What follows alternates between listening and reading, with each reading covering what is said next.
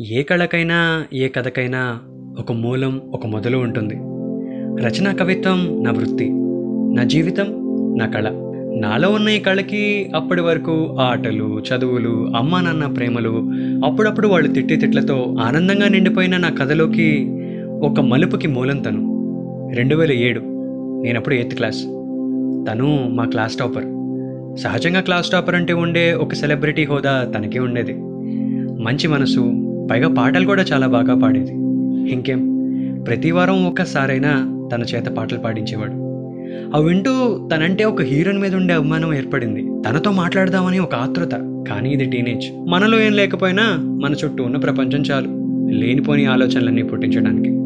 అదే తనతో ఒక్క మాట కూడా మాట్లాడనివ్వకుండా చేసింది. క్లాస్లో తను కనిపించేట్టు కూర్చోవటం క్లాస్తో పాటు అప్పుడప్పుడు తన్ని చూడడం. ఎందుకో తెలీదు. నచ్చేదంతే. పొరపాటున శనివారం ఇద్దరం ఒకే కలర్ డ్రెస్ వేసుకుంటే ఏదో తెలియని ఆనందం. ఆనందం ఆ తర్వాత ఎన్ని చేసినా ఫీల్ అవ్వలేకపోతున్నా. అలా రోజులు గడుస్తున్నాయి.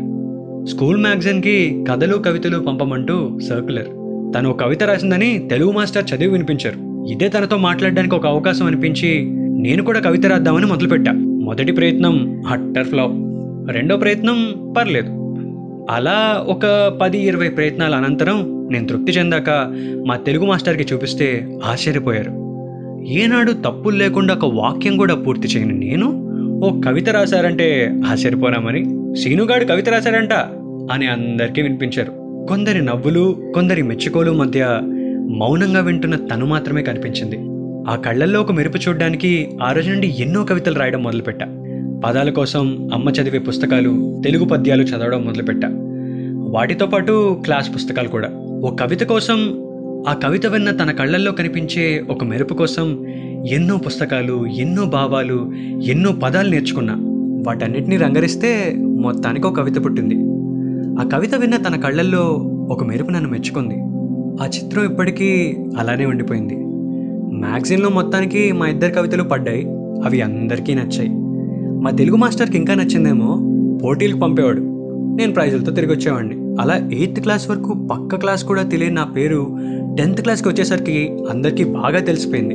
ఇప్పటికైనా మాట్లాడదామా? అమ్మో వద్దు. నేను చదువుల్లో యావరేజ్ సెవెంటీ పర్సెంట్ వస్తే చాలు అనుకునే టైప్.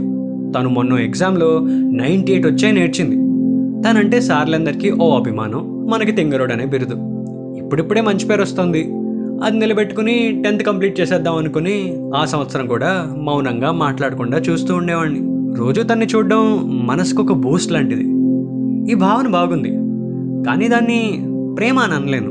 ఎందుకంటే ఈ భావన మా అమ్మ నాన్న ప్రేమ కన్నా ఎక్కువైతే కాదు. టెన్త్ క్లాస్ పరీక్షలు మొత్తానికి రాసేసా. అందరం కలిసి స్కూల్ పక్కనే ఉన్న థియేటర్లో సినిమాకి వెళ్దామని మా టీచర్ ఒకరిని అడిగి మొత్తం టెన్త్ క్లాస్ అంతా ఆయన తోడు తీసుకుని వెళ్ళాం. నా ముందు రోజులో తను ఇప్పటికైనా తనతో మాట్లాడదాం అనుకున్నా. సరే ఏం మాట్లాడాలి?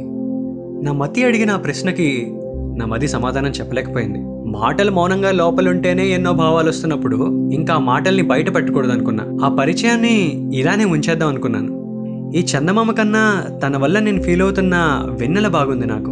నేనేమన్నా తొందరపడితే ఆ వెన్నెల పోతుందేమో అని భయం నాకు. మౌనంగానే తన్ని చూస్తూ ఉండిపోయాను. సినిమా అయ్యాక అందరూ వాళ్ళు బస్సులు ఎక్కుతున్నారు నేను కూడా ఎక్కి ఆ బస్ తనని నా కంటి నుండి మాయం చేసేంత వరకు తనని నా జ్ఞాపకాల్లో దాచుకున్నా. తనతో ఒక్క మాట మాట్లాడకపోవచ్చు కానీ తన వల్ల నాలో పుట్టిన ఒక రచయిత ఇప్పటికీ ఎప్పటికీ నాతో ఉంటాడు. తన వల్ల ఒక లక్ష్యం ఏర్పడింది. బహుశా ఆ లక్ష్యం నాలో కలిగించడానికి తన పరిచయం అయిందేమో అలా ఎప్పటికీ మొదటి క్రష్గా నా ప్రయాణంలో ఒక అద్భుతమైన మజిలీగా తను ఉంటుంది. తన మీద ఉన్నది ప్రేమ అని అనలేను. ఆ భావనకు ఒక పేరు లేదు.